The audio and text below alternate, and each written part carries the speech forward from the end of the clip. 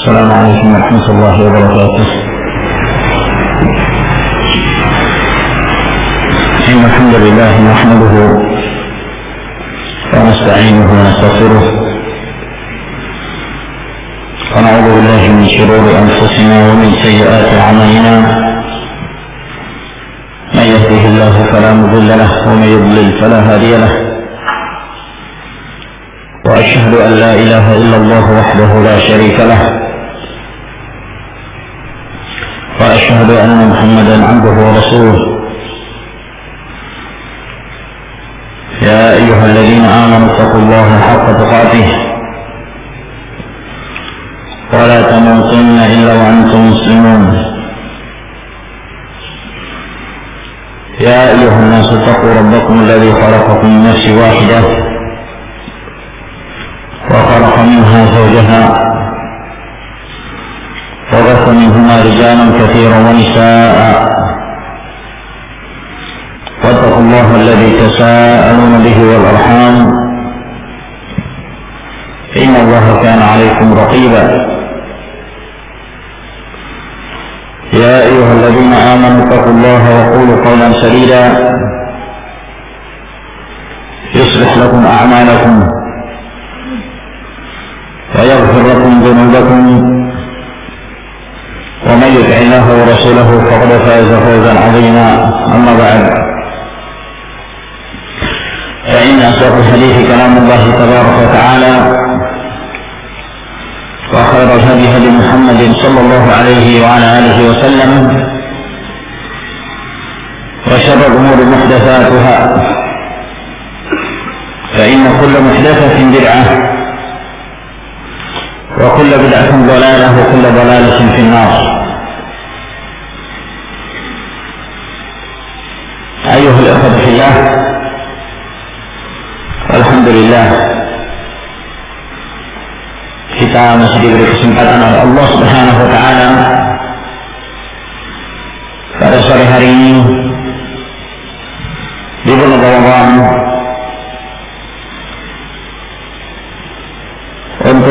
melanjutkan kajian kita dari pembahasan kitab Adab al-Ishrah wa Dzikr as-Suhbati wal Ukhuwah karya Al-Allamah Badruddin Abdul Barakat Muhammad bin Muhammad bin Muhammad Al-Ghazi Al-Amiri rahimahullah taala Kemudian kita memasuki adab yang berikutnya. Berkata Abu Barakat rahimahullah taala wa minha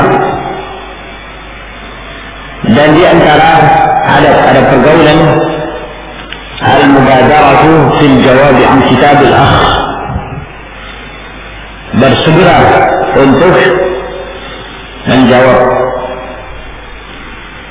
surat yang dikirimkan kepada kepadanya dari saudaranya.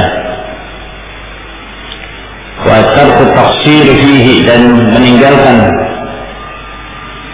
sikap masa bodoh dengannya tidak memperhatikannya ini juga termasuk di antara adat yang semakin merekatkan apabila di antara saudara kita kepada Allah Subhanahu wa taala mengirim surat kepada kita maka termasuk di antara yang akan semakin mendekatkan hati-hati mereka adalah membalas surat tersebut. Sesegera mungkin. Sesegera mungkin. Sehingga hal tersebut akan memasukkan perasaan gembira bagi saudara tersebut. Tentu dia akan berpikir bahwa Alhamdulillah saya diperhatikan oleh saudara saya. Yang menunjukkan hal itu adalah dia membalas suratnya. Sehingga dia merasa senang dengan hal itu. Kalau isi surat itu adalah meminta nasihat, maka pada saat kita menjawab dengan sesegera mungkin itu akan tersampaikan nasihat itu kepada yang memintanya. Dan termasuk di antara hak seorang muslim terhadap muslim yang lain yang disebut oleh Nabi Shallallahu Alaihi Wasallam tidak sahaka fansahu apabila dia meminta nasihat kepada Allah sampaikan kepada yang sehat dan termasuk di antara bentuk nasihat adalah menasihati salah seorang di antara saudara kita melalui surat. Akan menjawab dengan segera ini termasuk di antara al-akhlaq al-karimah. Qala Ibn Abbas radhiyallahu taala anhu berkata Ibn Abbas radhiyallahu anhu inni la ara إني أرى لرد الجواب حقا كما أرى لرد جواب السلام sesungguhnya aku melihat aku berpendapat bahwa membalas jawaban dari surat yang dikirimkan kepada kita itu merupakan suatu yang hak, suatu yang wajib. Seperti halnya saya menganggap bahwa menjawab salam adalah sesuatu yang diwajibkan. Menjawab salam adalah sesuatu yang diwajibkan. Maka demikian pula menjawab surat. Maka hendaknya seorang muslim memperhatikan hal ini jika Allah Subhanahu wa taala memberi taufik kepada seorang hamba untuk bersahabat dengan orang-orang yang baik dari kalangan ahlu sunnah maka hendaknya dia berusaha untuk selalu menyambung tali persaudaraan tersebut. Meskipun dengan cara menulis surat. Dan bagi yang dikirimkan pun hendaknya berusaha untuk menjawab sesegera mungkin. Wa ansya dari Abi Hifan. Dan disebutkan bait syair oleh Abu Hifan إلى الإخوان فاتهم التلاقي فما شيء أسر من الكتاب وإن كتب الصديق إلى صديق فحق كتابه رد الجواب Kata beliau, "Idzal ikhwan fatahum talaqi." Apabila orang-orang yang bersaudara sama Allah Subhanahu wa taala tidak memungkinkan bagi mereka untuk bertemu satu dengan yang lain, maka tidak ada sesuatu yang paling menggembirakan dari menuliskan kepada surat. Mengirim surat kepadanya. Dan apabila seorang menulis surat kepada temannya, kita kitabihi raddul jawab. Maka hak dari tulisan surat tersebut adalah bersegera untuk menjawab bersegera untuk menjawab surat yang dikirimkan kepada kita. Wa minha dan di antara ada pergaulan yang baik al-adab fil isti'zan wa isti'mal sunnah fihi. Adab dalam hal meminta izin dan mengamalkan sunnah dalam hal meminta izin tersebut. Ini juga merupakan adab ketika kita datang ke rumah seseorang dari sahabat kita. Hendaknya seorang muslim mengetahui dan mempelajari adab-adab yang diajarkan oleh Rasulullah Sallallahu Alaihi Wasallam seperti halnya meminta izin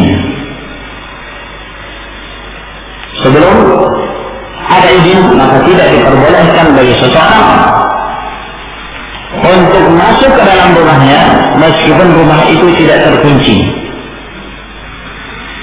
Dan tidak diperbolehkan bagi seorang muslim untuk melawak melihat isi yang terdapat di dalam rumah sebelum dia mendapatkan izin. Innama ju'ila al-iznu min qibali al-basar. Izin itu ditetapkan karena hubungan dan masalah memandang melihat apa yang ada di dalam rumah selama tanpa ada izin jangan seseorang memandang apa yang terdapat dalam rumahnya, apakah itu ruang tamu atau yang lainnya.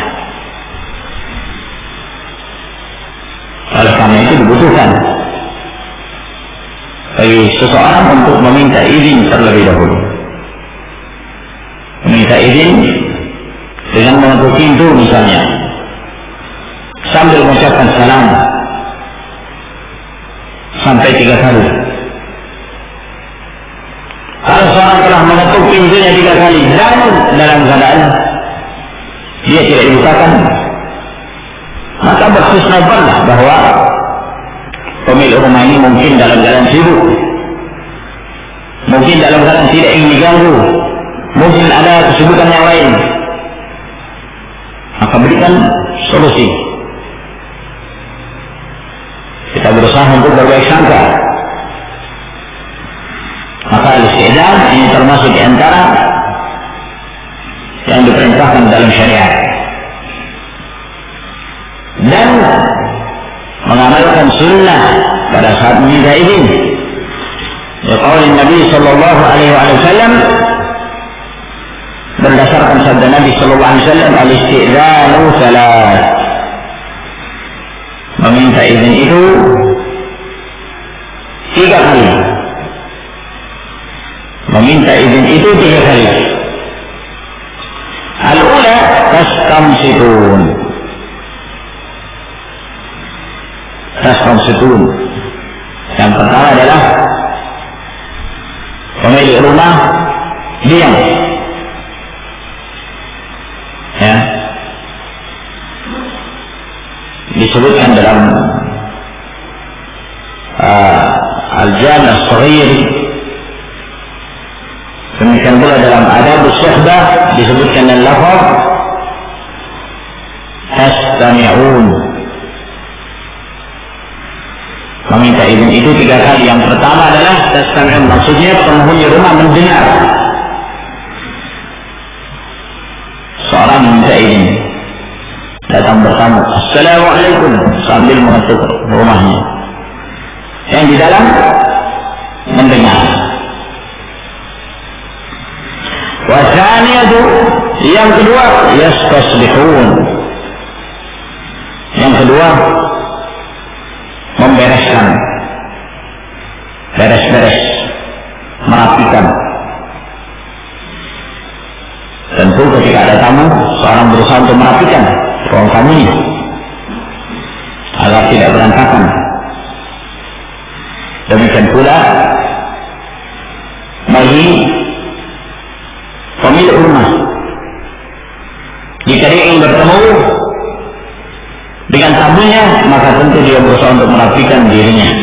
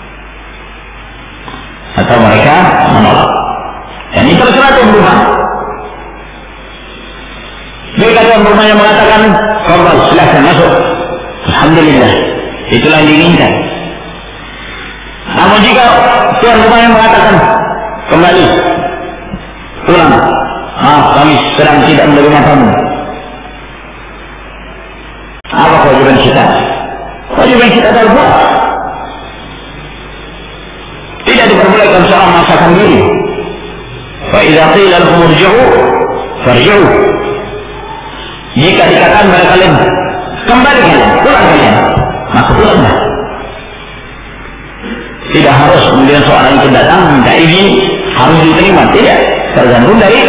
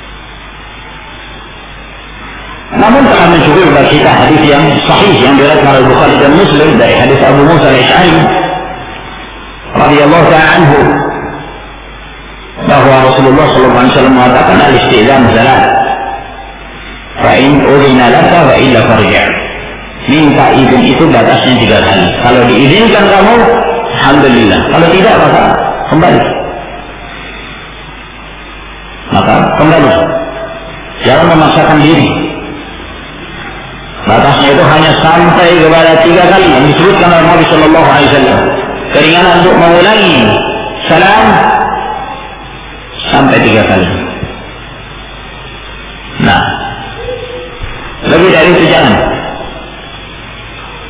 Dan kemudian seorang lima orang datang. Yang satu mengetuk, mengetuk pintu sekali, tidak dibukakan, dua kali, tidak dibukakan, tiga kali, sudah anda tiga kali, anda lagi yang ngajur. Akhirnya lima belas kali. Ini salah paham. Ya, yang dimaksud itu adalah perwakilan sudah untuk kalian semua tiga kali. Jangan satu orang tiga. Oh kalau sepuluh orang. Nah, gak bisa tidur tuan rumahnya. Diketuk terus. Nah, ini penakwilan ini seperti penakwilan sebagian mereka yang mentakwil firman Allah Subhanahu wa taala وإن خفتم ألا تقسطوا في اليتامى فانكحوا ما طاب لكم من النساء مثنى وثلاث ورباع maka hendaknya kalian menikahi wanita-wanita yang baik dua, tiga, empat. Kata dia dua tambah tiga tambah empat. Sembilan. Itu batas. Ya, yang tak boleh adalah lebih dari sembilan. La haula wala quwwata illa billah. Ini takwil batil. Oleh karena itu ada salah seorang sahabat ketika dia masuk Islam, dia memiliki istri lebih dari empat di masa jahiliyah. Ghailan radhiyallahu anhu maka dia datang kepada Rasulullah sallallahu alaihi wasallam untuk mempertanyakan status istri-istrinya ini gimana? Kata Rasulullah sallallahu alaihi wasallam, "Amsik arba'an wa talliqil baqi." Tahan yang empat, sisanya ceraikan. Yang empat itu saya kamu tahan karena itu batas. Bolehnya seseorang berpoligami lebih dari itu merupakan kekhususan Rasulullah Sallallahu Alaihi Wasallam. Jadi, rahmatullah ini juga hendaknya diperhatikan kalau sudah tiga kali tidak diizinkan, maka kembali. Pulang. Jangan memaksakan diri. Dan berhusnudzonlah pada pemilik rumah bahwa mungkin dia dalam keadaan punya hajah, ada kebutuhan. Waminha dan di antara ada pergaulan yang baik Allah yasuma idza da'ahu akhun illa biiznih. hendaknya jangan dia berpuasa apabila ada seorang saudara yang mengundangnya yang mengundangnya kecuali dengan izinnya. Wa inna as-sawma ay yuftira tahriyan li sururihi dan apabila dia berniat untuk berpuasa, maka hendaknya segera dia membatalkan puasanya. Untuk menjaga rasa gembira dari saudara tersebut. Ini juga adab yang boleh sebutkan. Apabila seorang sedang berpuasa, yang dimaksud di sini adalah berpuasa sunnah. Puasa sunnah. Yang namanya seorang berpuasa sunnah, kata Nabi Shallallahu Alaihi Wasallam, as-saim al-mutatawwi' nafsihi. Fa insya Allah fa insya Allah, fa insya Allah. Orang yang berpuasa sunnah dia yang memimpin dirinya sendiri. Dia yang mengatur dirinya. Dia yang berpuasa dia lanjutkan puasa silakan dia juga yang membatalkan silakan. Ini dalam hal berpuasa sunnah. Dia yang membatalkan silahkan melanjutkan juga dipersilahkan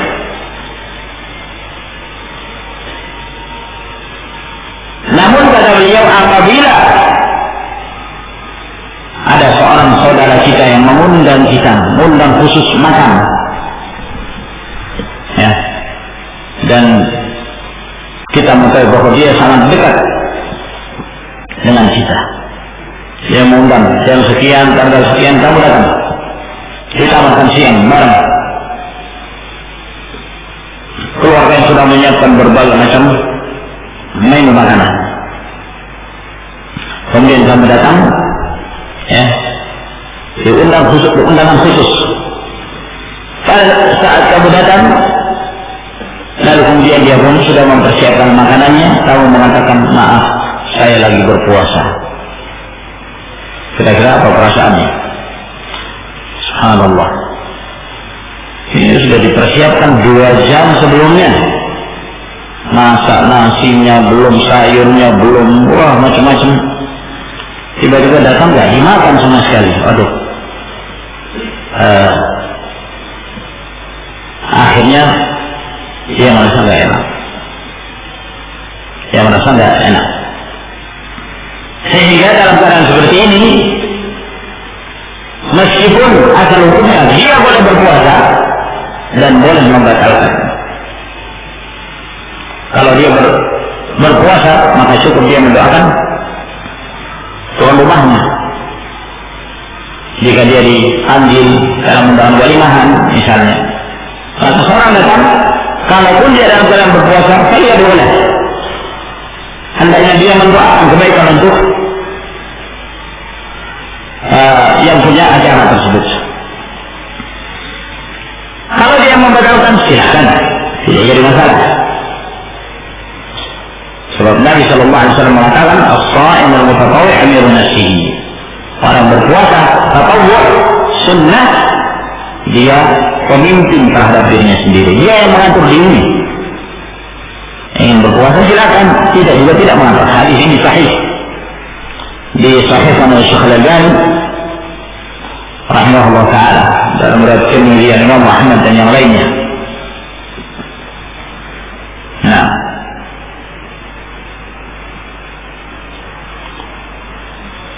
فإن أبا سعيد الخدري رضي الله عنه كما أبو سعيد الخدري رضي الله تعالى عنه قال beliau berkata صنعت لرسول الله صلى الله عليه وسلم طعاما Aku membuatkan untuk Rasulullah Sallallahu Alaihi Wasallam makanan. Faja'a huwa wa ashabuhu. Maka datanglah beliau bersama dengan para sahabatnya. Falamma wudi'a ta'am qala rajulun minal qawm inni sha'im. Maka tatkala hidangan telah siap, maka ada seseorang di antara mereka yang datang bersama Rasulullah mengatakan, saya sedang berpuasa. Faqala Rasulullah sallallahu alaihi wasallam maka bersabda Rasulullah wasallam da'akum akukum wa takallafa lakum. Saudara kalian telah mengundang kalian dan dia telah memberatkan dirinya untuk kalian berlelahlah untuk kalian. Aftir summa sum yawman makanahu insyita maka batalkanlah puasamu. Kemudian nanti kamu berpuasa di hari yang lain jika kamu menginginkan hadis yang disebutkan di sini adalah hadis yang baik. Sahih. Diriwayatkan oleh Darqutni Tabrani dan Al-Awsat terdapat seorang perawi yang baik yang bernama Muhammad bin Abi Humaid. Sehingga hadis ini tidak bisa dijadikan sebagai hujah. Dan juga yang nampak dari hadis ini seakan Rasulullah Shallallahu Alaihi Wasallam memerintahkan, mewajibkan yang berpuasa itu untuk membatalkan puasanya ketika diundang. Yang sahih dalam permasalahan ini, masyaallah bahwa tidak ada kewajiban untuk membatalkan puasanya. Tidak ada kewajiban. Dia ingin melanjutkan silakan, dia ingin membatalkan juga silakan. Ya. Namun dari sisi yang lain, dari sisi al-khuluqul bahwa dia ingin memasukkan perasaan gembira ke dalam hati saudara tersebut, maka dia membatalkan puasanya untuk menyenangkan saudaranya. Ini termasuk di antara hal yang baik namun tidak sampai kepada tingkatan wajib. Wallahu taala a'lamu. Wa minha dan di antara ada pergaulan ziyarat al-ikhwan was su'ali an ahwalihim.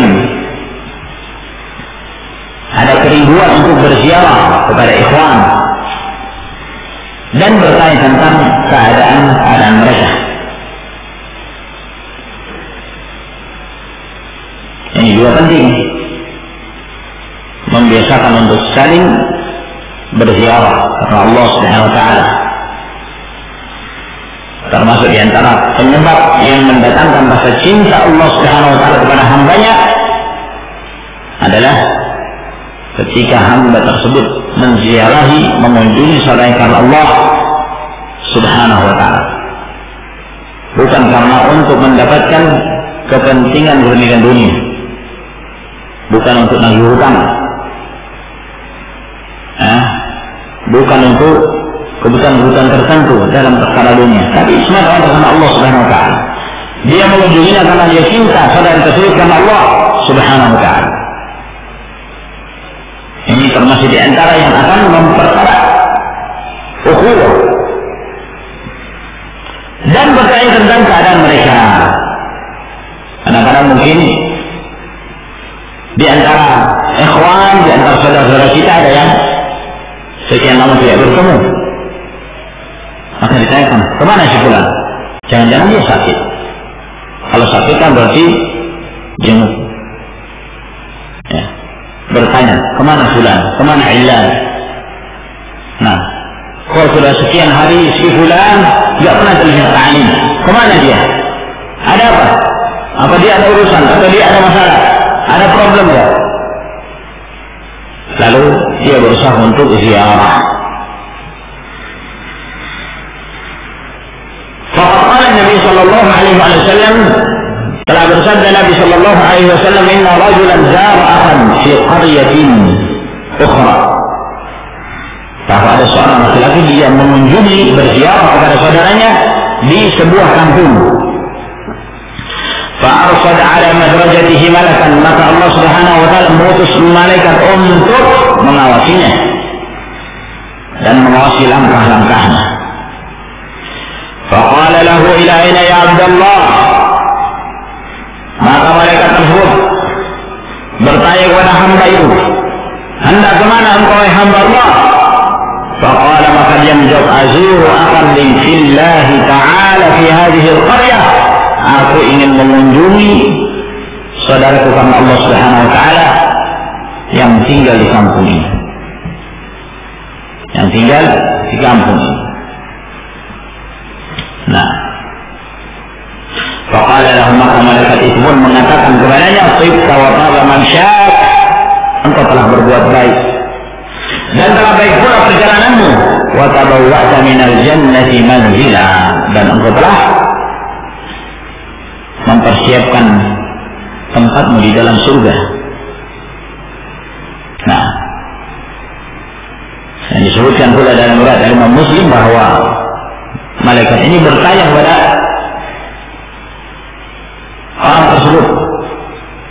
"Halaka min ni'matin tarudduha alaih?" Apakah ada satu kenikmatan yang kamu harapkan dari saudaramu itu sehingga kamu mengunjunginya? Sebab tujuan berziarah Islam macam-macam. Seperti yang kita sebutkan, ada yang bertujuan ziarah memang hanya karena untuk utang.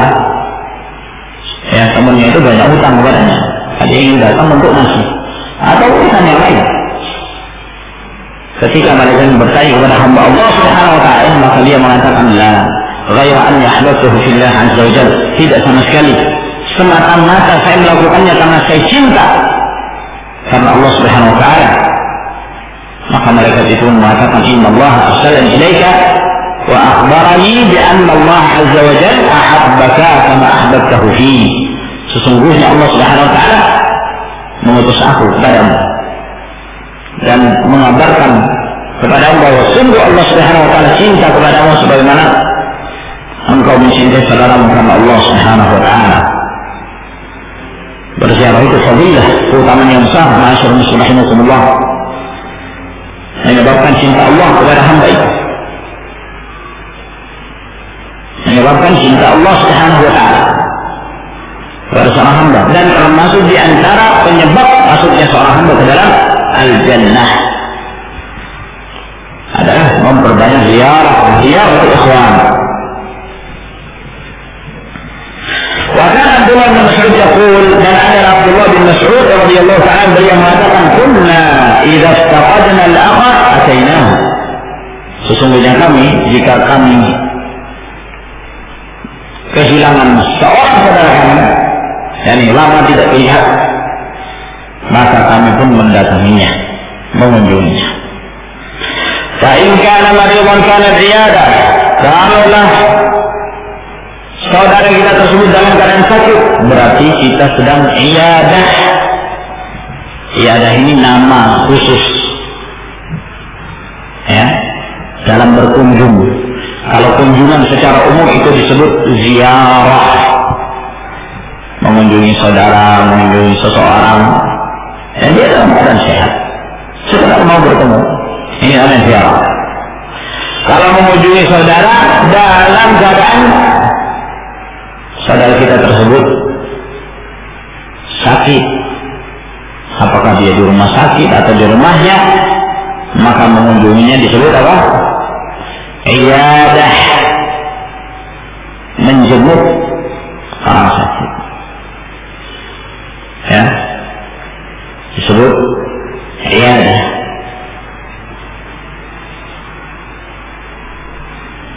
nah kalau saudaranya sudah meninggal gimana? Menjenguknya apa namanya? Hah? Kalau mayat yang dibawa namanya ittiba'ul jenazah. Mengikuti jenazah, tertasyih, mengantar jenazah. Kalau sudah dikubur namanya ziaratul kubur. Ya.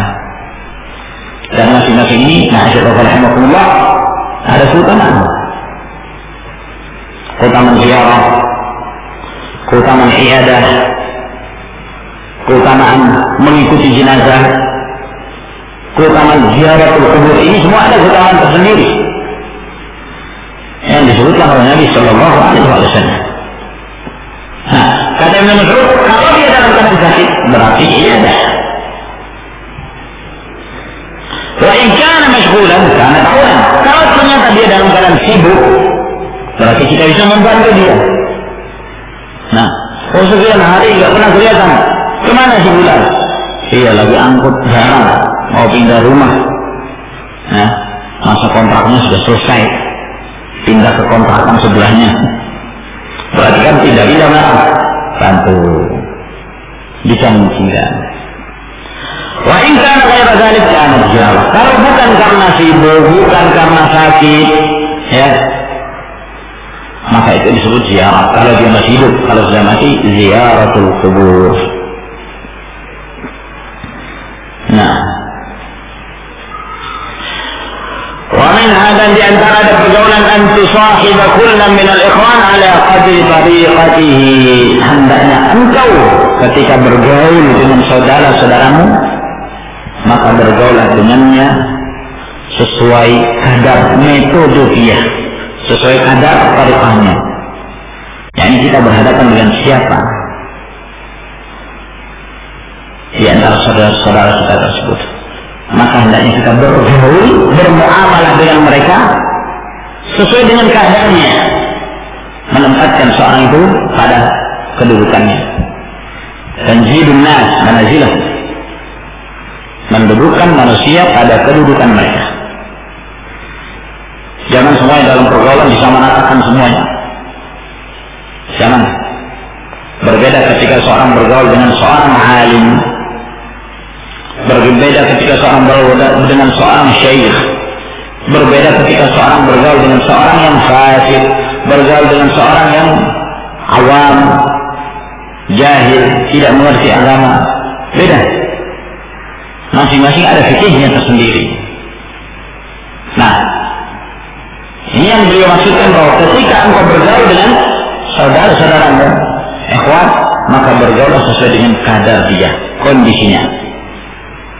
Nah, dengan siapa kita berhadapan?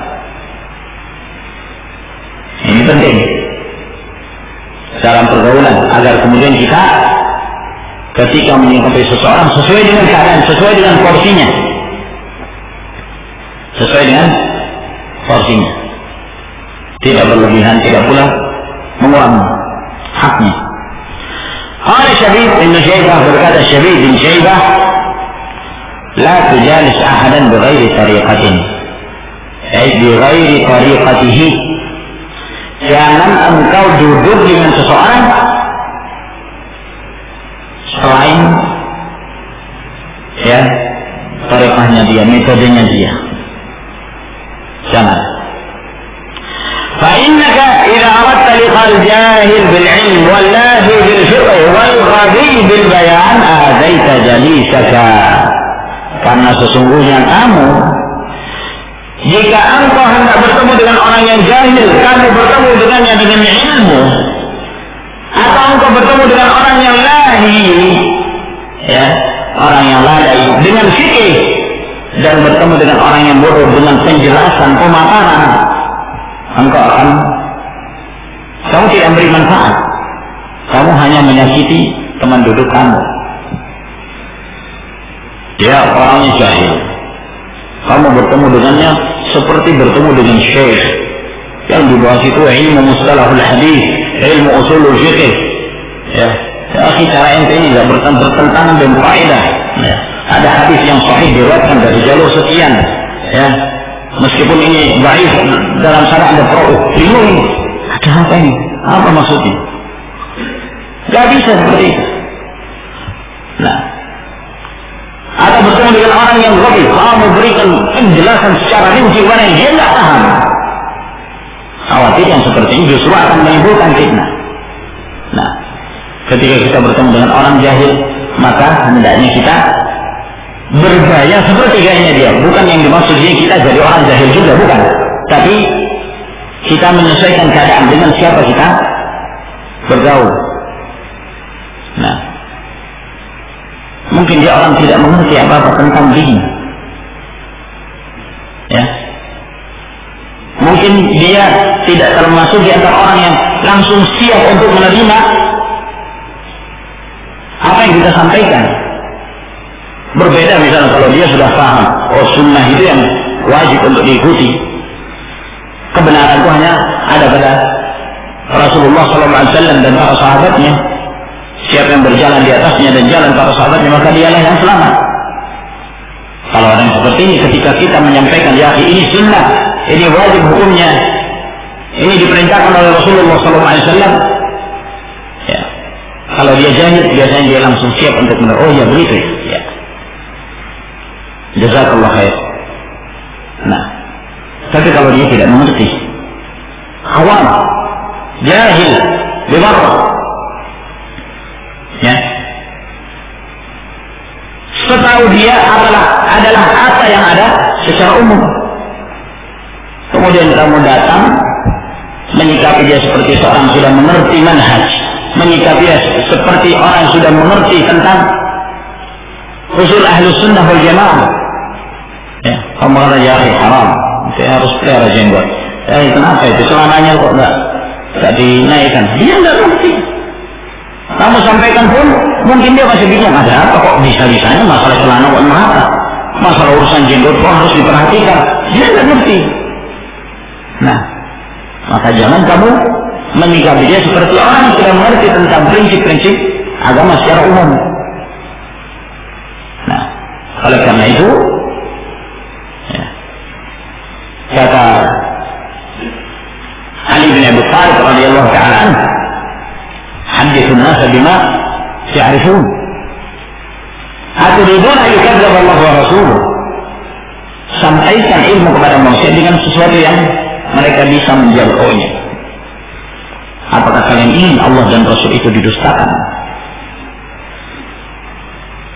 Berbeda pada saat kita berhadapan dengan talabatul ilm dengan ketika kita berhadapan dengan orang-orang awam yang mereka tidak mengerti. Kata Abdullah bin Mas'ud radhiyallahu ta'ala "Ma anta bi muhaddithin qauman la tablughu uquluhum illa kana li fitnah." Tidaklah engkau memberitakan satu berita pada satu kaum yang mereka tidak mampu mencerna dengan akal mereka. Melainkan yang terjadi justru akan menimbulkan fitnah. Kenapa? Mereka tidak paham. Mereka belum mengerti. Nah, oleh karena itu dalam hal mengajarkan ilmu kepada manusia itu bertahap. Bertahap. Berbeda ketika kita berbicara di hadapan orang-orang yang sudah mengerti usul sunnah misalnya, prinsip-prinsip sunnah secara umum tinggal kita menjelaskan bahwa ini termasuk di antara firqah ini nah, firqah-firqah yang sesat dan seterusnya ajarkan kepada mereka mana yang sunnah mana yang bid'ah dengan ketika kita berhadapan dengan awam yang sama sekali nol tidak mengerti. Ya. Maka ajarkan mereka hal-hal yang membuat mereka senang dengan agama ini. Kewajiban seorang beribadah kepada Allah Subhanahu wa taala. Nah. Ajarkan kepada mereka tentang kewajiban cinta kepada Rasulullah. Konsekuensi cinta kepada Rasulullah itu apa? Dan demikian seterusnya. Sehingga perasaan ya. Cinta mereka kepada agama itu tertanam pada diri mereka. Kalau sudah tertanam lalu kemudian diajarkan pada mereka prinsip-prinsip sunnah maka mereka siap untuk menerima. Wa Imam Ali radhiyallahu anhu dan diriwayatkan dari Imam Ali radhiyallahu ta'ala bahwa beliau mengatakan la in kuntu muhtajan ila al-ilmi illani ila al-jahli fi ba'd al-ahayini ahwaju.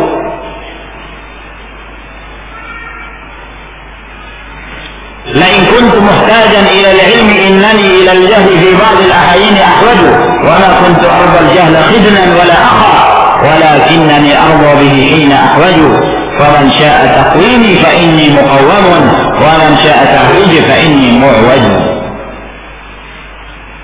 فإن كنت محتاجا إلى العلم apabila aku membutuhkan ilmu innani ila al-jahli fi ba'd al-ahyin ahwadu maka sesungguhnya aku kepada kejahilan dalam sebagian keadaan saya butuh. Ya. kadang-kadang kita berlagak seperti bahasanya orang yang jahil. Kita bertemu dengan orang yang jahil misalnya. Maka kita menggunakan bahasa seperti bahasa orang yang jahil. Tak perlu menyampaikan dalil-dalil misalnya. Kenapa? Kalau disampaikan mungkin mereka belum mampu untuk ya mencerna dengan bahasa yang rinci dengan bahasa yang gamblang dengan bahasa-bahasa yang ringkas misalnya disampaikan sesuatu yang mereka bisa pahami Meskipun kadar ilmu yang kita miliki bisa lebih dari itu. Meskipun kadar ilmu yang kita miliki bisa lebih dari itu. Namun kadang-kadang kondisi kita seperti orang yang jahil itu lebih dibutuhkan dalam sebagian keadaan. Tergantung dengan siapa kita berhadapan. Walaupun tu al jahla khidran wal akhar. Aku tidak riba kejahilan itu menjadi temanku, menjadi saudaraku. Walakinnani amra bihi hina ahwaju. Tapi saya riba ketika kejahilan itu saya butuhkan dalam kondisi tertentu tergantung dengan siapa saya berhadapan. Faman ja'a taqwimi fa ini muqawwam, siapa yang ingin meluruskan aku, saya ini memang sudah diluruskan dan siapa yang ingin membengkokkan aku maka aku juga bisa bengkok. Maksudnya apa? Bisa berhadapan dengan siapa saja. Ya. Mau berhadapan yang lurus, lurus. Yang bengkok, bengkok. Berhadapan dengan orang jahil bisa, dengan bahasa mereka, dengan gaya mereka. Berhadapan dengan seorang alim juga bisa. Berhadapan dengan para ilmu juga bisa. Berhadapan dengan anak kecil juga bisa. Ya. Jadi bisa fleksibel, bisa ya uh, mengatur diri kita. Sebagaimana ilmu itu kadang-kadang disampaikan sesuai dengan kondisi dan keadaannya. Kadang-kadang ada satu ilmu harus disembunyikan karena kondisi tidak memungkinkan. Nah, kata Abu Hurairah radhiyallahu taala anhu, beliau mengatakan, "Li an Nabi sallallahu alaihi wasallam Aku memiliki dua tempat ilmu, dua bidang ilmu dari Nabi sallallahu alaihi wasallam. فأما أحدهما فقد بثته وأما الآخر فلو بثته لقطع هذا البلعوم Adapun yang satu dari tempat ilmu saya sudah menyebarkan. Itulah hadis-hadis yang beliau sampaikan kepada umat ini. Adapun yang kedua kalau saya sebarkan, kepotong, dipotong leher ini. Kenapa fitnah? Jangan sampai beliau memberitakan hadis tersebut justru akan menimbulkan fitnah. Sebagaimana kita tahu bahwa pada zaman-zaman tersebut zaman-zaman yang penuh dengan fitnah. Ma'asyarakat. Berarti apa? Maka hendaknya seorang perhatikan ilmu ini disampaikan kepada siapa. Berbeda pada saat kita menyampaikan pada orang jahil, berbeda pada saat kita menyampaikan pada anak kecil, kepada orang yang lebih tua, pada orang berpendidikan, masing-masing kita menempatkan pada tempatnya. Wa min di ada pergaulan hifdzu hurumati suhbati wal isyrah. Memelihara kehormatan persahabatan dan pergaulan. Menjaganya. Apabila Allah Subhanahu wa taala telah memberi taufik kepada kita memiliki saudara-saudara karena Allah Taala pelihara itu kehormatan persahabatan jangan merusaknya Qala Ja'far as-Sadiq radhiyallahu anhu berkata Ja'far as-Sadiq radhiyallahu ta'ala mawaddatu yawmin silatun wa mawaddatu sanatin rahimun nasah man qata'aha qata'ahu Allah azza wa jalla kecintaan sehari itu sudah teranggap silah menyambung hubungan. Kalau sehari akrab terjadi persahabatan sehari. Itu sudah silah. Ya. Menyambung hubungan. Dan membangun persahabatan cinta atau cinta di atas persahabatan tersebut selama setahun itu statusnya sudah seperti rahimun nasah sudah seperti ada tali ikatan kekerabatan yang kuat. Siapa yang memutusnya maka Allah Subhanahu wa taala akan memutus rahmat darinya. Ya, dalam artian kalau sudah semakin lama hendaknya seseorang berusaha untuk menjaga. Ya, jangan menjadi orang yang dosanan seperti yang disebutkan sebelumnya bosan bersabar dengan bulan ganti lagi ganti lagi terus seperti itu akhirnya nggak ada yang tetap dari sahabat ابن عبيده الريحاني بركات علي بن عبيده الريحاني الأحرار ما لم يلتقوا معارف. فإذا التقوا صاروا إخوانا فإذا تعاشروا توارثوا orang-orang yang أحرار. ya orang-orang merdeka yang dimaksudnya orang-orang yang berjalan di atas kebaikan nah malam yaltaqu selama mereka belum bertemu mereka sudah saling mengenal. Kenapa? Kata Nabi sallallahu alaihi wasallam al arwahu junudun mujannadah ruh-ruh itu berkelompok-kelompok. Yang baik akan berkumpul dengan yang baik. Jadi sebelum bertemu sudah saling mengenal sebenarnya. Ketika mereka bertemu, maka terjadilah hubungan persaudaraan. Soal ikhwanan. Fa'idha ta'asyaru dan mereka semakin dekat dalam pergaulan tawaruhu. Maka saking dekatnya sampai beliau mengatakan mereka saling mewarisi antara satu dengan yang lain. Saking dekatnya. Jadi sudah dianggap seperti rahim, kerabat sendiri.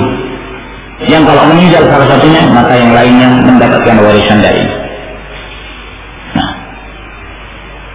Ini orang-orang yang mengerti tentang pentingnya makna persahabatan. Semakin lama dia semakin dekat. Waqala sadiq berkata sadiq sadaqatu 20 yawman qarabah. Persahabatan 20 hari itu sudah dianggap kerabat. Sehingga kalau dia kerabat ya statusnya seperti kerabat kita sendiri. Yang disebutkan oleh Nabi Shallallahu Alaihi Wasallam Man ahabba yusata lahu fi rizqihi wa yumsala fi athari falyasur rahimah. Siapa yang senang dipanjangkan, dilapangkan rezekinya dan dipanjangkan umurnya maka hendaknya dia menyambung tali silaturahim. Demikian pula kata beliau ketika terjadi persahabatan dalam kurun waktu yang sudah sekian lama, apakah 20 hari atau bahkan setahun, itu sudah dianggap seperti kerabat sendiri. Nah, agar kemudian seorang mengerti makna persahabatan tersebut. Jangan terlalu mudah untuk melepaskan seorang saudara yang dahulu Allah Subhanahu wa taala mempererat hubungan di antara keduanya karena menyatukan kembali itu adalah satu hal yang sulit setelah terjadi perpisahan. Wa minha dan di antara pergaulan insaful ikhwan min nafsihi. Insaful ikhwan min nafsihi. Hendaknya para ikhwan yang berbuat berbuat insaf terhadap para ikhwan dari dirinya. Nah, berbuat insaf, yakni berbuat adil. Tidak berbuat zalim kepada saudara-saudaranya. Ketika mereka butuh maka dia berusaha untuk menolongnya dan membantunya. Dan mereka tidak berusaha untuk menjerumuskannya dalam kebinasaan, dalam kekeliruan. Ini dimaksud insaful ikhwan. Ya. Dan berusaha untuk membantu para ikhwan itu dari harta yang dimilikinya. Karena telah terjadi persaudaraan sehingga dia berusaha untuk membantu meskipun dia mengeluarkan harta. Liqauli Nabi sallallahu alaihi wasallam berdasarkan sabda Nabi sallallahu alaihi wasallam asyraful a'mali Allah taala wa insaful mu'min min nafsih wa muwasatul akhi min malih amalan yang paling mulia adalah berzikir kepada Allah taala dan seorang mu'min yang berbuat insaf seseorang berbuat insaf pada seorang mukmin dari dirinya dan memberi bantuan kepada seorang saudara dari harta yang dimilikinya. Hadis ini dhaifun jiddan. Tidak sahih.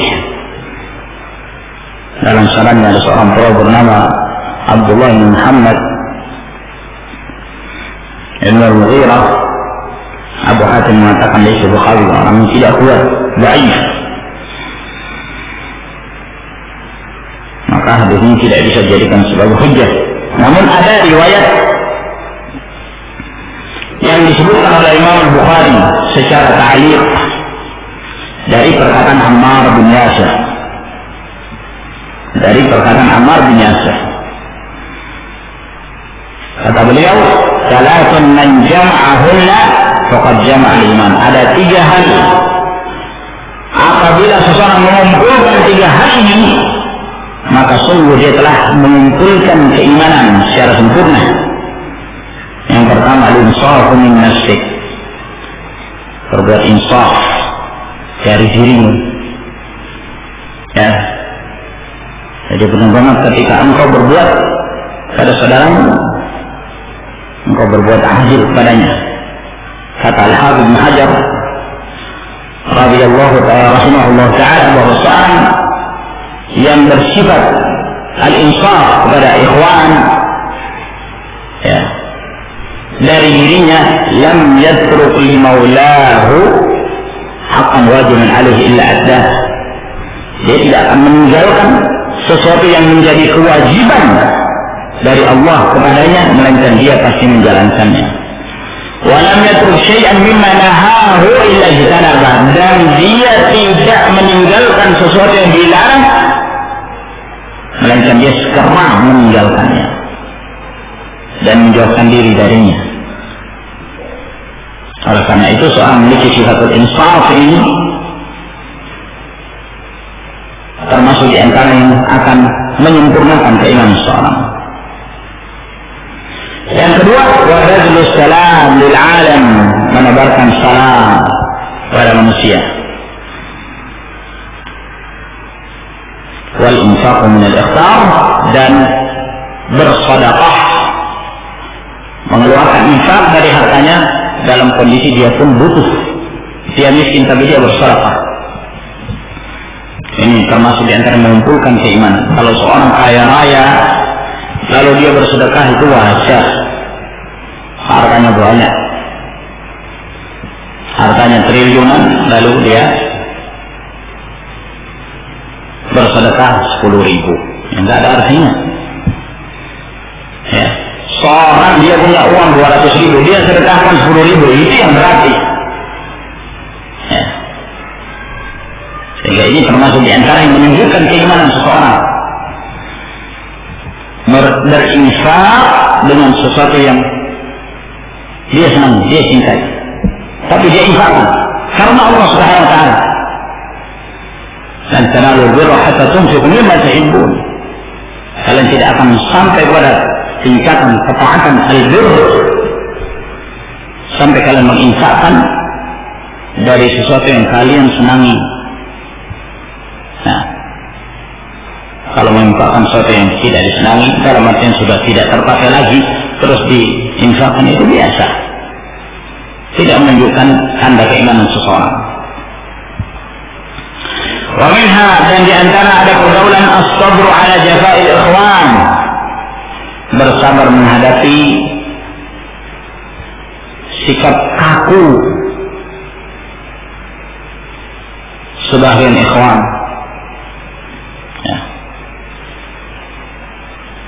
Yang dimaksud jafa ini adalah taksir yakni uh, seorang tidak mengerti arti persahabatan kurang dalam berkhidmat kepada sahabatnya.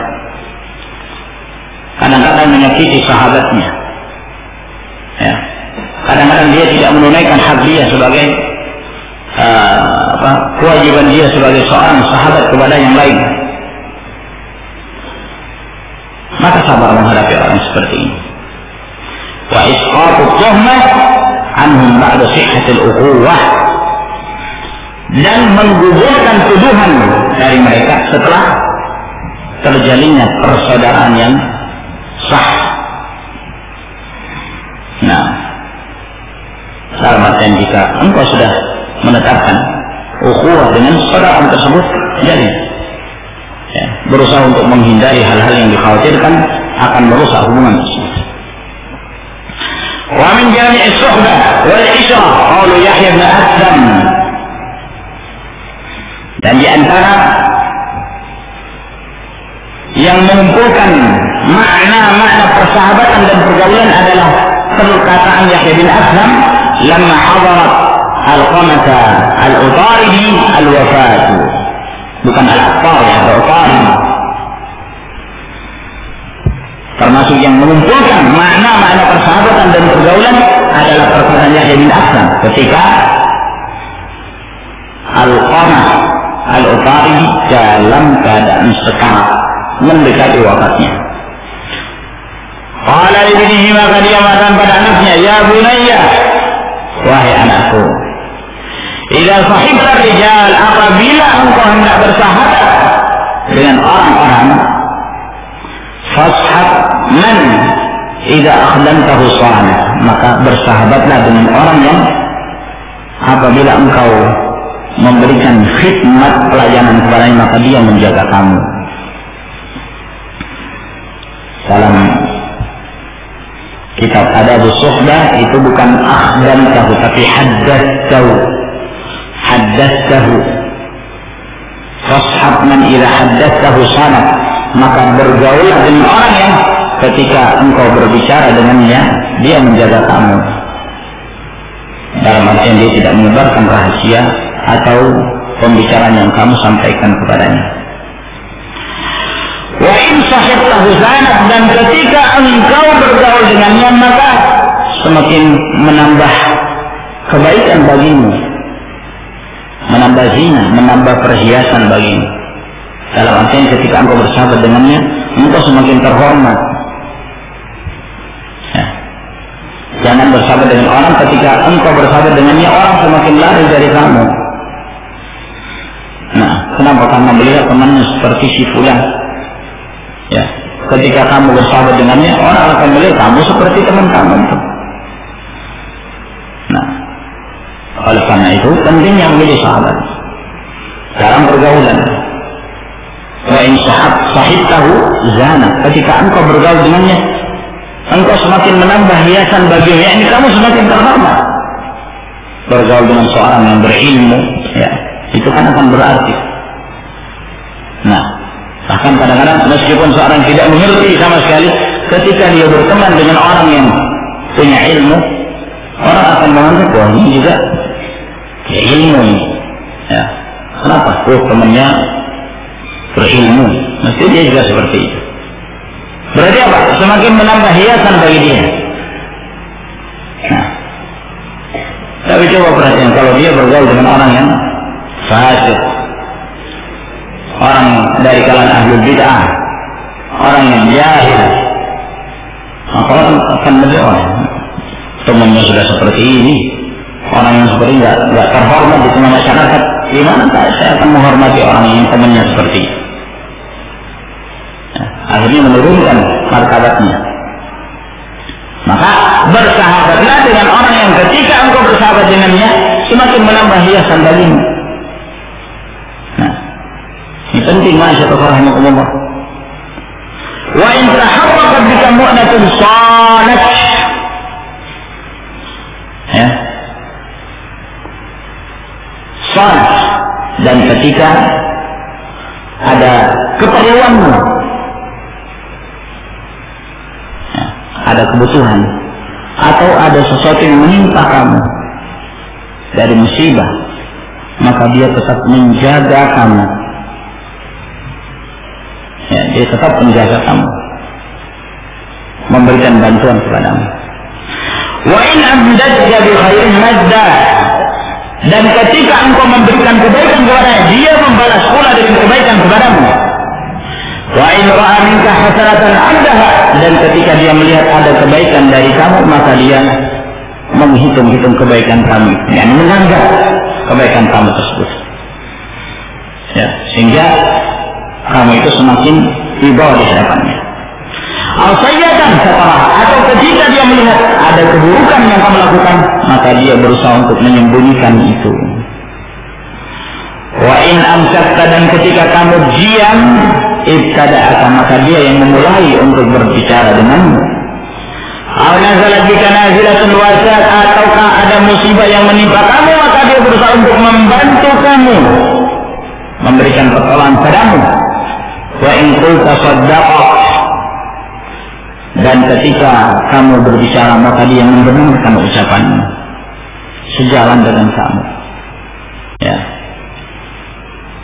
Sebab ketika seorang bicara terus didustakan wah alangkah sedihnya ini yang diajak bicara.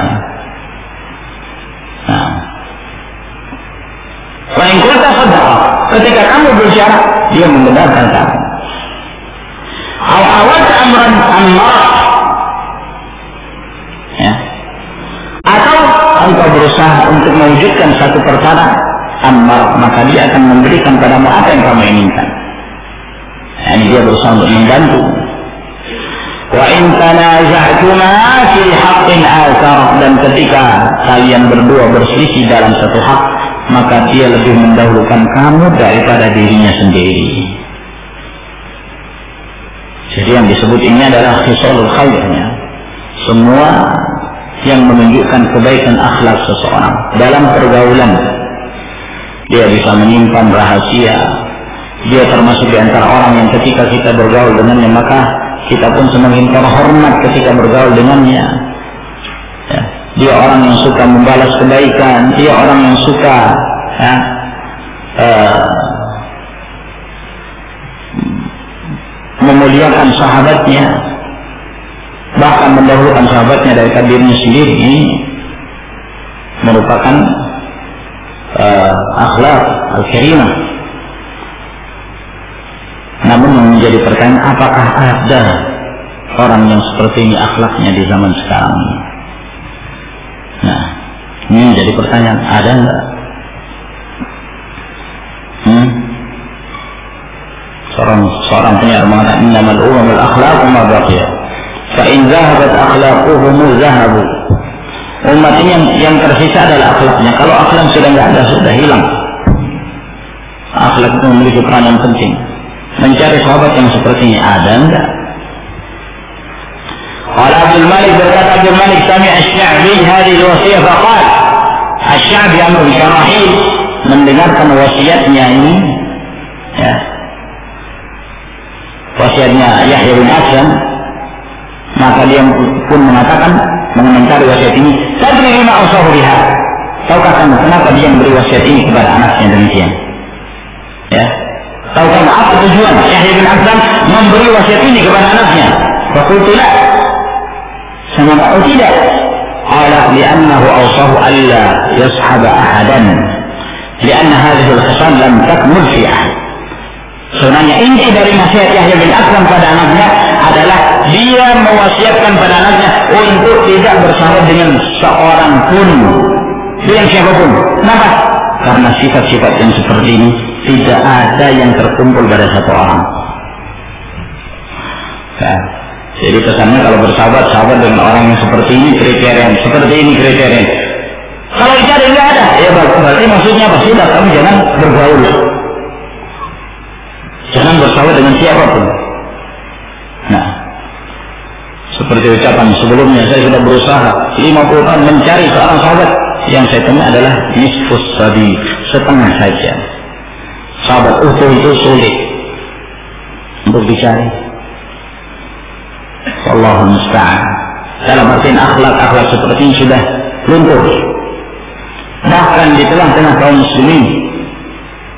Ya. Kebiasaan untuk menjaga amanah ini hampir sulit untuk kita mendapatkan.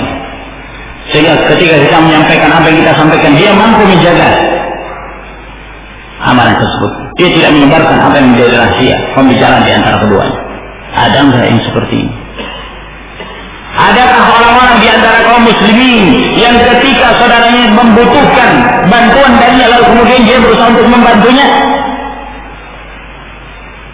Bahkan dia siap untuk mengeluarkan sebagian hartanya untuk menjaga hubungan persaudaraan karena Allah Subhanahu wa taala ada sekarang ini yang akan membalas kebaikan ketika kita berbuat baik kepadanya. Yang ketika kita berbicara, dia membenarkan ucapan kita. Dan yang semisal yang disebutkan. Ya, kalaupun ada aziz, itu ada suatu hal yang sangat-sangat sedikit sekali. Nah, mereka itulah orang-orang dirahmati oleh Allah Subhanahu wa taala. Allah Jalla wa ala berfirman, "Wa qalilun min ibadiy syakur." Sedikit di antara hamba-hamba yang bersyukur. Sedikit. Tidak banyak. Orang-orang tertentu saja. Oleh karenanya ketika Allah Subhanahu wa taala memberi taufik pada kita bertemu dengan orang yang sedikit ini, maka jaga. Kalaupun kita tidak menemukan, maka siap untuk menerima kekurangan ikhwan kita. Siap untuk menerima kekurangan. Ya, berusaha menutupinya. Ada banyak yang telah kita sebutkan sebelumnya. Wa min hadha di antara ada pergaulan ta'zim hurmatil masyayikh wa rahmatu wa syafaqatu 'ala al-ikhwan. Mengagungkan kehormatan para masyayikh Para ulama, para masyayikh yang membawa ilmu dan bersikap rahmat dan kasih sayang kepada ikhwan. لقول النبي صلى الله عليه وسلم ليس منا من لم يوقر كبيرنا ويرحم صغيرنا Bukanlah dari kami orang yang tidak memuliakan orang yang lebih tua di antara kami dan merahmati orang yang lebih muda di antara kami. Mendudukkan seseorang pada kedudukannya. Nah, orang tua kita muliakan, kagumkan. Yang lebih muda di antara kita, maka kita lemah lembasin kepada mereka. Hadis ini diriwayatkan oleh Tirmidzi dan yang lainnya dan datang dari berbagai jalan sehingga hadis ini saling menguatkan antara satu dengan yang lain.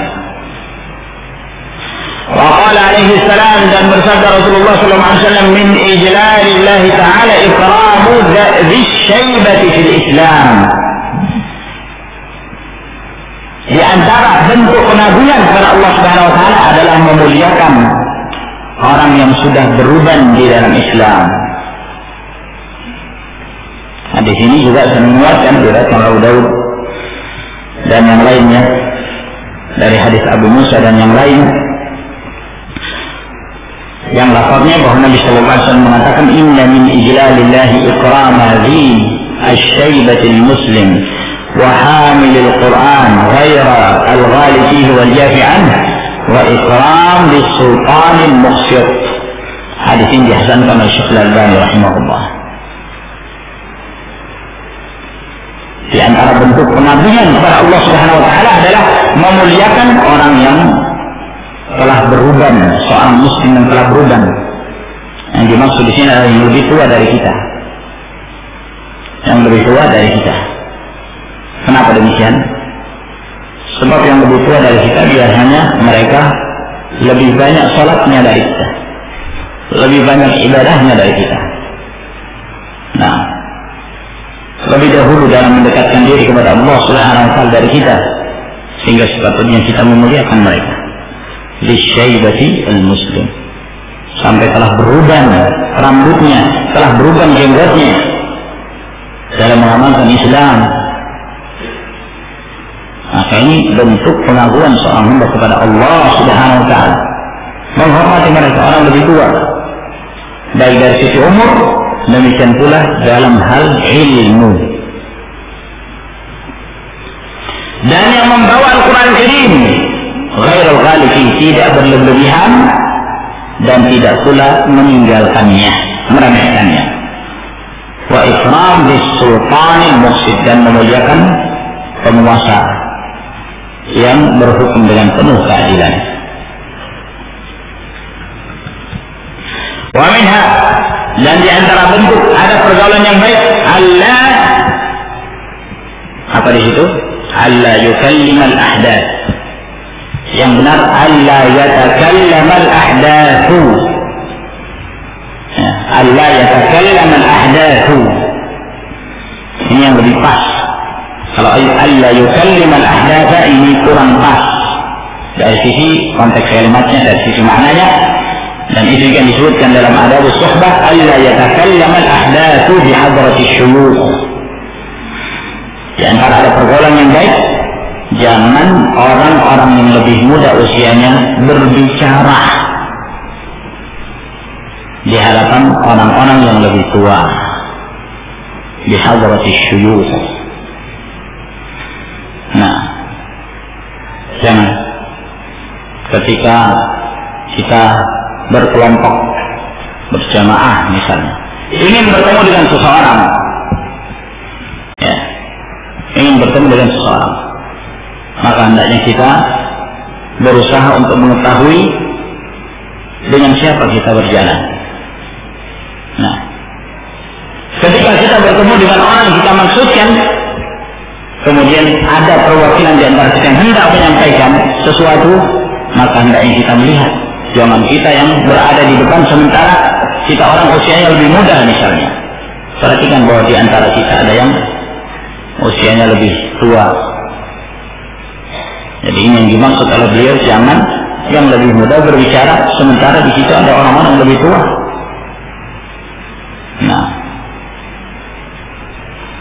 termasuk adat yang dianjurkan oleh Rasulullah Sallallahu Alaihi Wasallam disebutkan dalam kisah yang panjang yang diriwayatkan oleh Bukhari dan Muslim dari hadis Sa'ad bin Abi Hasmah bahwa satu ketika Abdurrahman bin Sahal Huwaisah dan Muhaisah Ibn Mas'ud keduanya keduanya atau ketiganya Abdurrahman bin Sahal mereka mendatangi Nabi Shallallahu Alaihi Wasallam. Yakni menceritakan tentang proses terbunuhnya seseorang. Datanglah bertiga ini kepada Rasulullah Sallallahu Alaihi Wasallam فذهب عبد الرحمن يتكلم وهو أحدث القوم سن ketika tiga orang ini datang maka Abdurrahman ini yang berbicara padahal dia orang paling muda usianya daripada Kuwaisa dan Mahaisa ya, itu lebih tua ini Abdurrahman dia sudah paling muda dia yang lebih dahulu berbicara kepada Nabi Shallallahu Alaihi Wasallam dia ingin menceritakan tentang proses terbunuhnya seseorang maka ketika Rasulullah melihat kenapa kok ini Abdurrahman yang lebih dahulu berbicara sementara yang dua ini lebih tua daripada dia. Maka Nabi Shallallahu Alaihi Wasallam mengatakan kabir kabir dahulukan yang lebih tua. Dahulukan yang lebih tua. Nah kalaupun subhanallah terpaksa yang muda ya merupakan adab yang baik meminta izin dulu. Atau misalnya dia persilahkan dulu fadal ini yang lebih tua yang memulai fadal antum yang sampaikan. Ya. Antum yang menyampaikan. Kalau misalnya saya mau fadal antum antum yang menyampaikan. Antum lebih tahu kondisinya. Nah, berarti mereka sudah mempersilahkan. Adapun kita berjalan kita berkelompok bersama dengan orang lebih tua dari kita lalu kemudian kita sudah menampakkan diri maka ini yang disebutkan Nabi Shallallahu Alaihi Wasallam kabir kabir hendaklah mendahulukan yang yang lebih tua nah. Dihikayatkan dari Laith bin Abi Sulaim rahimahullah taala beliau mengatakan kuntu amshi ma'al satu ketika aku berjalan bersama Talha bin Musarrif maka dia selalu mendahulukan aku. Dia selalu mengedepankan aku. Nah lalu kemudian Laith bin Abi Sulaim mengatakan wallahi law alimtu annaka akbar minni sinnan ma taqaddamtuk. Demi Allah kalau seandainya saya mengetahui kamu lebih tua dari saya saya tidak akan ya lebih dahulu daripada kamu. Namun apa hukumnya? Apa hukumnya? Seorang yang lebih muda berbicara di hadapan orang-orang yang lebih tua kita tadi menyebutkan bahwa merupakan adat. Mempersilahkan mereka. Nah namun kalau ternyata orang-orang tuanya pada diam, tidak ada yang berbicara atau tidak memberikan solusi yang terbaik, dan dia ingin menyampaikan sesuatu yang tidak disampaikan oleh orang-orang lebih tua, maka dalam hal yang seperti ini diperbolehkan. Bagi yang lebih muda untuk menyampaikan. Oleh karena itu Al-Imam Al-Bukhari rahimahullah taala beliau menyebutkan di dalam Al-Adab Al-Mufrad ada satu bab dengan judul Idza lam yatakallam al-kabir hal lil-asghar ay yatakallam? Apabila yang lebih tua itu tidak berbicara apakah boleh bagi yang lebih muda itu berbicara? Ya ini isyarat menunjukkan bolehnya. Setelah itu beliau menyebutkan hadis Abdullah bin Umar radhiyallahu taala anhu ketika Rasulullah wasallam menyampaikan di hadapan sebagian para sahabat di situ ada Abu Bakar, di situ ada Umar, di situ juga ada Abdullah bin Umar. Inna min asy-syajari syajaratan la yasqutu walaqha wa inna mathalul muslim fahaddithuni ma. Sesungguhnya di antara sekian banyak pepohonan ada sebuah pohon yang dedaunan itu tidak pernah jatuh, tidak pernah berguguran daunnya. Permisalan dia adalah seperti permisalan seorang muslim. Ayo beritakan padaku, pohon apa itu? Kata Nabi Sallallahu Alaihi Wasallam. Maka mereka yang berpikir ya, mengingat pohon-pohon yang ada di di pedalaman, pohon apa? Kalau kita di Indonesia mikirnya pohon macam-macam pohon, pohon nangka, pohon rambutan, banyak pohon. Nah, mereka semua memikirkan pohon apa ini yang dimaksud oleh Nabi Sallallahu Alaihi Wasallam. Kata Abdullah bin Umar, saya ingin berbicara. Di dalam hati saya mengatakan bahwa yang dimaksud itu adalah pohon kurma. Tapi ketika saya melihat, wah saya adalah orang yang paling muda usianya. Seorang paling muda usianya, fastah yaitu maka aku pun malu untuk menyampaikan. Aku malu untuk menjawabnya. Sementara di di dalam hal tersebut ada orang-orang yang lebih tua. Di situ ada Abu Bakar sendiri. Ada Umar bin Khattab sendiri. Beliau ya mengetahui keadaannya. Orang lebih muda ingin menyampaikan malu. Nah, akhirnya kemudian Rasulullah SAW mengabarkan bahwa yang dimaksud itu adalah pohon kurma. Yang dimaksud adalah pohon kurma. Ketika itu Ibn Umar setelah selesai majelis Ibn Umar sempat menyampaikan kepada Umar Khattab bahwa sudah terbukti pada diri saya untuk menyampaikan bahwa itu adalah pohon kurma. Namun saya malu untuk menyampaikannya. Ya. Kata Umar bin Khattab radhiyallahu taala, "Wallah law qultaha ahabbu lakana ahabbu ila min kada wa kada." Demi Allah seandainya kamu mengucapkan itu lebih saya senang. Bangga kan dia anaknya bisa menjawab. Ya. Lebih aku sukai daripada ini dan itu. Nah, seandainya kau mengucapkannya. Nah, Alhasil ma'asyar rahimakumullah. Saya ingin juga menunjukkan bahwa boleh sebenarnya Seseorang berbicara ketika orang lebih tua tidak berbicara. Oleh karena itu Umar bin Khattab radhiyallahu taala beliau memasukkan Ibnu Abbas radhiyallahu taala termasuk di antara tokoh-tokoh yang sering kali beliau mengajak mereka bermusyawarah. Itu bersama dengan para syekh-syekh orang-orang lebih tua yang pernah ikut dalam peristiwa perang Badar dari kalangan para sahabat. Di antara dimasukkan adalah Ibnu Abbas. Pada Ibnu Abbas anak muda ketika itu. Nah, anak muda. Kenapa? Karena Umar melihat bahwa Ibnu Abbas radhiyallahu taala anhu memiliki fikih dan ilmu yang tidak dimiliki oleh yang lainnya meskipun dalam hal usia beliau lebih muda. Zalika fadlullah yu'tihi may Itu adalah keutamaan Allah yang Allah Subhanahu wa taala berikan pada siapa yang Allah kehendaki. Qala Jabir berkata Jabir, "Qadam wafdu Juhainah 'ala Nabi sallallahu alaihi wasallam." Datang utusan dari Juhainah kepada Nabi sallallahu alaihi wasallam. Faqala ghulamun liyatakallam, maka ada seorang anak muda ingin berbicara. Faqala Nabi sallallahu alaihi wasallam, "Aina kubara?" Mana ini orang-orang tua? Utusan dari Juhaina datang kepada Rasul yang berbicara anak kecil. Kan tidak sepantasnya.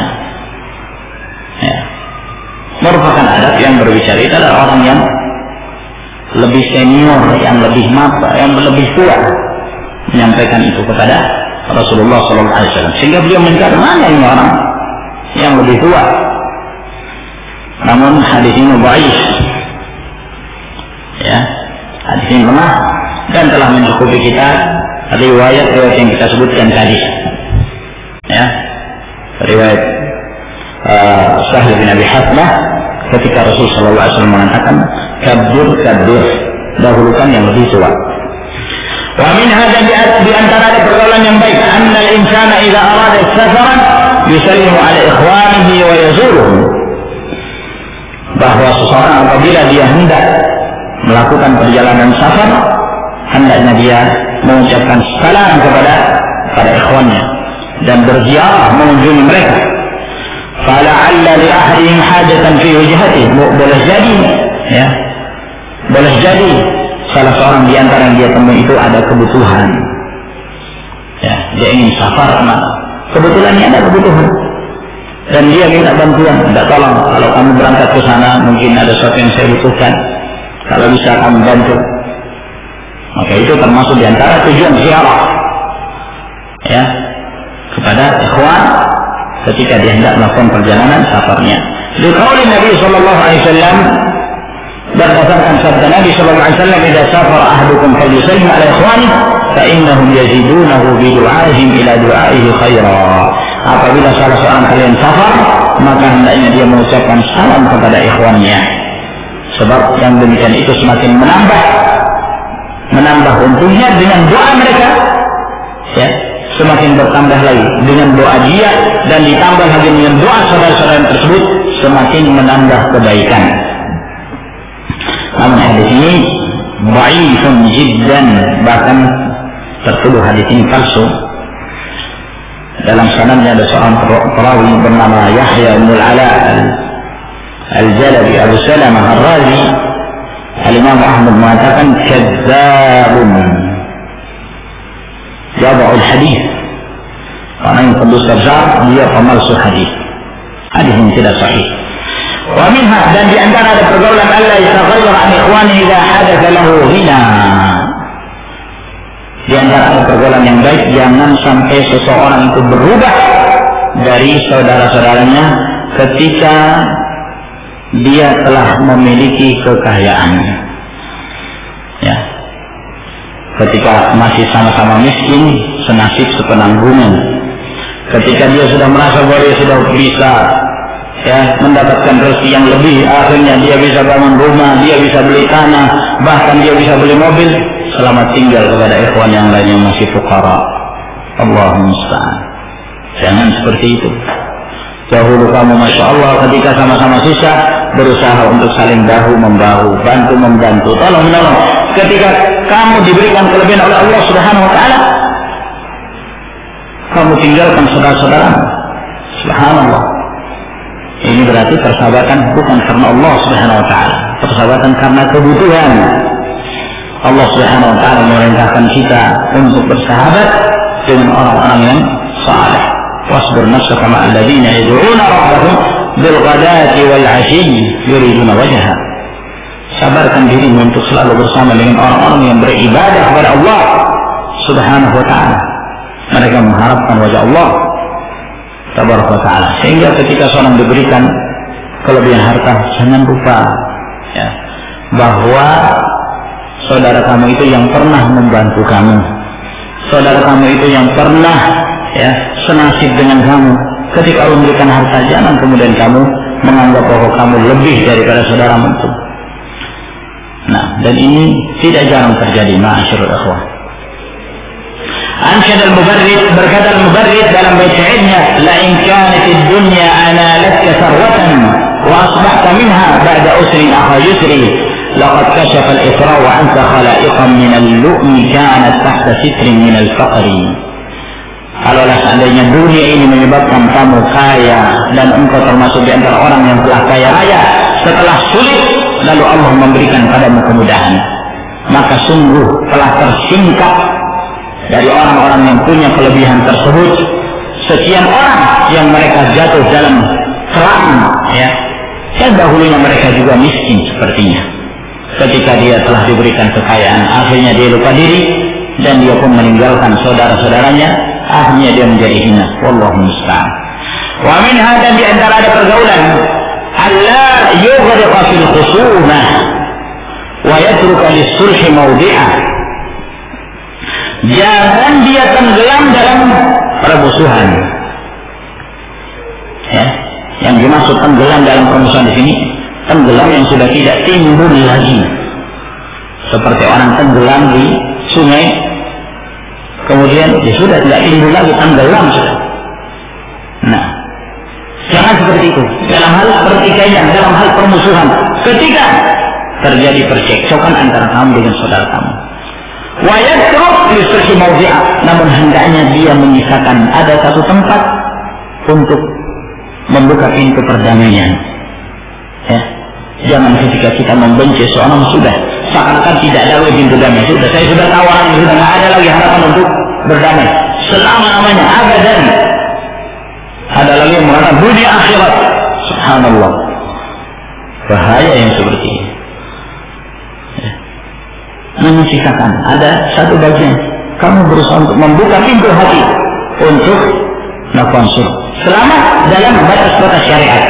Ini selalu kajian diwajibkan dalam pergaulan. Selama dalam batas-batas syariat Fakat ruya dari Nabi Sallallahu Alaihi Wasallam bahwa Ali yang karam Allah wajah telah diriwayatkan dari Nabi atau dari Ali karam Allah wajah bahwa dia mengatakan ahbib habibaka haulan ma asa ayyakuna baghidaka yawman ma. Wa abghid baghidaka haulan ma asa ayyakuna habibaka yawman ma. Cintailah orang yang kamu cintai itu sederhana. Boleh jadi dia akan menjadi orang yang kamu benci suatu saat. Dan bencilah orang yang kamu benci itu biasa saja boleh jadi dia akan menjadi orang yang kamu cintai pada suatu saat. Nah, di sini meskipun dalam bulan baik, namun Syekh Al Albani rahimahullah taala beliau menghasankan sebagian jalan seperti jalurnya hadis Abu Hurairah radhiyallahu taala yang diriwayatkan dalam Al Adabul Mufrad dari Al Imam Bukhari rahimahullah taala. Maka yang dimaksud di sini adalah ketika kamu benci dalam batas-batas syariat. Ketika kamu mencintai seseorang dalam batas-batas syariat. Jangan terlalu cinta sehingga menyebabkan kamu buta. Kamu sudah tidak memperhatikan lagi. Jangan sampai kamu cinta itu seharusnya kamu benci karena dia menyimpang karena dia tersesat. Akhirnya karena kamu berlebihan dalam mencintainya sudah tertutup. Yang penting cinta kepadanya. Demikian pula sebaliknya ketika engkau membenci maka jadikanlah ada tempat untuk membuka pintu kecintaan perdamaian dengannya. Boleh jadi dia taubat. Sebelumnya kamu benci karena dia menyimpang. Boleh jadi dia bertaubat kepada Allah Subhanahu wa taala. Ya, sehingga ketika dia bertaubat maka tentunya kewajiban kita adalah menerima dengan kebaikan. Qila li Abi Sufyan bin Harb dikatakan kepada Abu Sufyan bin Harb bima nilta hadha syaraf dengan apa engkau mendapatkan kemudian ini? Qala kata beliau ma khasamtu rajulan illa ja'altu lis-sulhi bainana mawdi'a. Aku tidaklah berseteru dengan seseorang melainkan aku selalu menyisakan ada perdamaian antara kami. Ya selalu ada menyisakan bahwa masih ada pintu untuk berdamai dengan orang yang dibencinya tersebut. Wa min hadan di antara pergaulan ma'rifatul rijal wa mu'asyaratuhum ala hasabi ma yastahiqunahu mengetahui tokoh-tokoh. Ya. Dan bergaul dengan mereka sesuai dengan apa yang layak mereka dapatkan. Ini juga dalam pergaulan ma'asyur rahmatullah berbeda ketika kita bergaul dengan ulama dengan ketika bergaul dengan orang yang sebaya dengan kita. Berbeda ketika kita bergaul dengan ustadz kita dengan pada saat kita bergaul dengan orang-orang dari kalangan para talabah yang setingkat dengan kita. Berbeda. Ya. Masing-masing ada hak yang harus kita berikan. Berbeda tentunya pada saat kita bersama dengan ustadz kita dengan syekh kita dengan seorang alim di hadapan kita. Ya. Tentu dengan ihtiram dengan penghormatan. Oleh karena itu para ulama mereka sangat menghormati guru-guru mereka yang mereka pernah mengambil ilmu darinya. Ya di antara adab yang mereka sering ya, menyebutkan dalam buku-buku mereka, demikian pula dalam ucapan-ucapan mereka, ketika ada seorang syekh yang dia mengambil ilmu banyak dari syekh tersebut, maka dia memanggilnya dengan kehormatan. Misalnya dia mengatakan syekhuna, ya, kana syekhuna, fulan bin fulan. Nah, dan ini dari dulu, ya, merupakan kebiasaan para ulama salaf dalam uh, apa e, menyampaikan menyebutkan kemudian kepada guru-guru mereka. Al Imam Muslim mengatakan pada Imam Bukhari Ustaz al Ustadin ya ustaznya para ustaz. Nah, ustaznya para ustaz.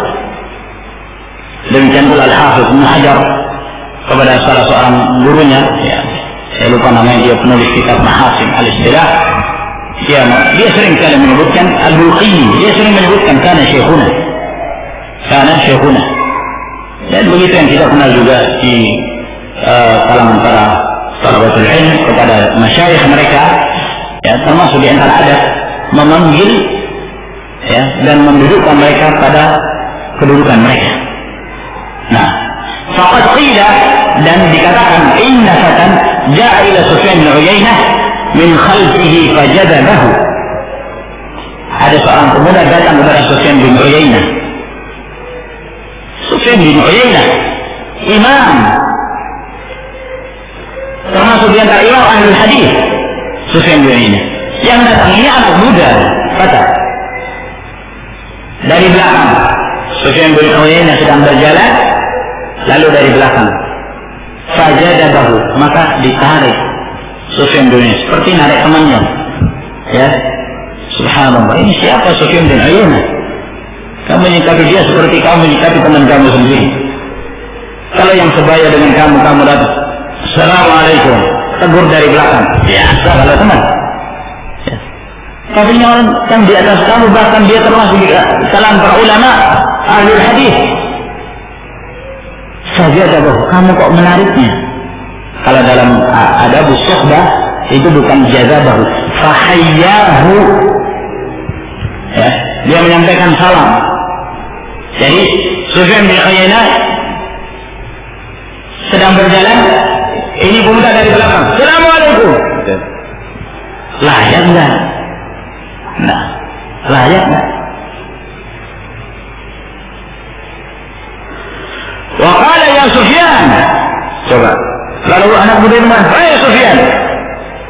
Kayak temannya sendiri, ya mestinya dipanggil ya Syekh misalnya, ya Syekh. Nah, يا شيخنا أنت من شيخ سفيان من فمين وين نعم حدثني. صلى الله عليه وسلم كان قد حديث. أنا موجة. سبحان الله. فالتفت سفيان إليه ما قال سفيان عينه من وجه كبدانا كبدانا مدين.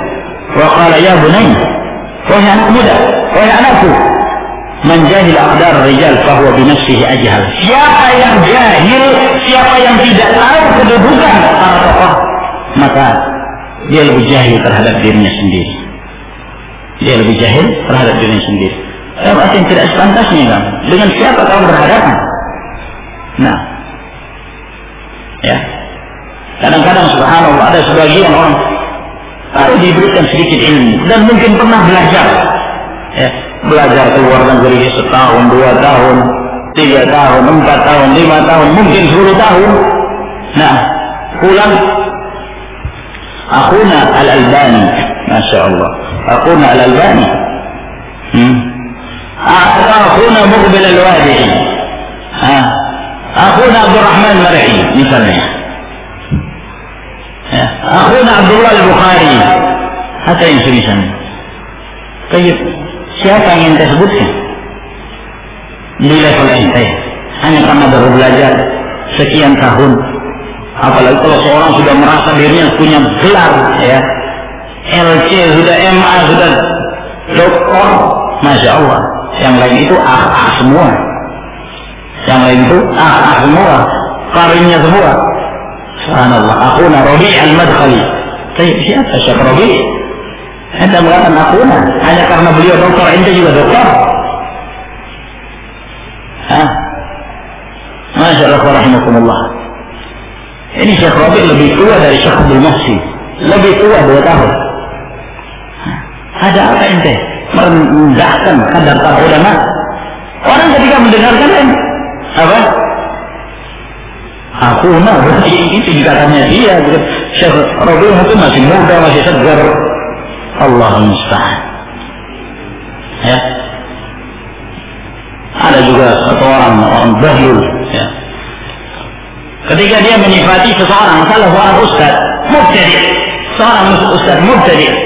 Nah, Oh dia menyanjung-nyanjung. Ya. Ini uh, Ustadz Bulan ini sepantasnya dipanggil Syekh. Cuman karena dia di Indonesia dipanggil Ustadz. Ya. Sepantas dipanggil Syekh. Sama seperti dipanggil Syekh Rabi. Hanya karena di Arab dipanggil Syekh. Maksudnya setara. Setara dengan Ustadz Bulan Al-Mubtadi ada sahibu hawa. Ya, mau disejajarkan dengan masyarakat. Ulama. Nah, maka masyarakat rahimahullah hal-hal yang seperti ini menunjukkan bahwa orang-orang yang demikian tidak mengerti kadarnya orang-orang berilmu, kadarnya para ulama. Wa dan di antara ada Allah yu'ashira man yukhalifu fi i'tiqadihi. Jangan dia bergaul dengan orang yang berselisih paham dalam akidahnya. Ini juga penting. Ya. Jangan bergaul. Nah, dengan seorang yang berselisih paham dalam perkara-perkara prinsip dalam Islam. Karena tidak akan pernah akur, ya. Ditambah lagi memang yang demikian tidak diperintahkan, tidak dianjurkan. Kita diperintahkan untuk memilih dengan siapa kita berteman. Falyanzur ahdukum man yukhalil. Hal kita mengetahui dia menyelesaikan akidah dan dia bukan dari ahli sunnah, jangan bergaul dengannya. Kenapa? Akan memberikan pengaruh ya, akan memberikan pengaruh. Nah, kata sebagian mereka. As-sahibu sahib as-sahibu sahib sahabat itu akan menarik kamu. Ketika kamu bersama dengan seorang maka dia akan menarik kamu. Ketika sahabat itu dari ahli bid'ah alhamdulillah kamu akan seperti itu. Kamu akan ditarik. Meskipun awalnya kamu ahli sunnah kamu akan terpengaruh. Nah ini penting. Jangan bergaul dengan orang yang berselisih paham dalam perkara akidah Qala Yahya bin Mu'ad berkata Yahya bin Mu'ad man khalafa aqduka aqdahu khalafa qalbuka qalbah siapa yang akidahnya bertentangan dengan akidahmu maka hatinya akan bertentangan dengan hatimu pula. Tidak akan bisa menyatu. Tidak akan bisa menyatu. Maka seorang hendaknya memilih pergaulan itu dengan ahlus sunnah yang saleh yang mengajak kamu kepada kebaikan Wa minha dan di antara pergaulan ma'rifatu haqqi man sabaqaka bil mawaddah. Hendaknya engkau mengetahui hak orang yang telah mendahului kamu dalam hal kecintaan. Ada seorang yang mendahului kamu dalam persahabatan. Dia yang lebih dahulu mencintai kamu daripada kamu mencintai dia. Maka hendaknya kita juga mengetahui kadar dia. Qala Bilal bin Sa'id berkata Bilal bin Sa'id, "Man sabaqaka bil mawaddah faqad istaraqaka bisyukri." Barang siapa yang mendahului kamu, man sabaqa bil hubbi, siapa yang mendahului kamu dalam hal kecintaan, dia yang lebih dahulu mencintai kamu. Faqad istaraqaka bisyukri, maka sungguh dia telah istirqa. Istirqa itu menghambakan dirinya kepadamu dengan kesyukuran. Ya. Maksudnya hendaknya kamu jaga. Ya, menunjukkan bahwa dia punya fadilah, dia punya keutamaan karena dia lebih dahulu mencintai kamu.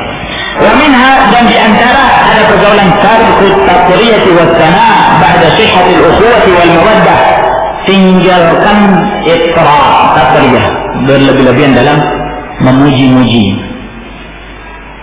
ya setelah sahnya ada persaudaraan ada persahabatan dan saling cinta mencintai kita bersahabat dengan seorang ya sudah ketika bersahabat dengan orang tidak perlu kamu puji dia tidak perlu kamu mujinya. Persahabatan kamu dengannya itu sudah cukup. Ya. Persahabatan kamu dengannya itu sudah sudah menggugurkan pujian kepadanya. Ya. Ketika kamu dekat dengannya, kamu mencintainya, itu sudah cukup. Menunjukkan bahwa kamu memujinya meskipun tidak secara lisan. Ya. Sebab berapa banyak orang memberikan pujian, tapi apa yang terdapat dalam hati yang bertentangan dengan lisannya. Namun yang dimaksud di sini adalah al-mahabbatu, al-mawaddatu sadiqah, kecintaan yang murni jujur.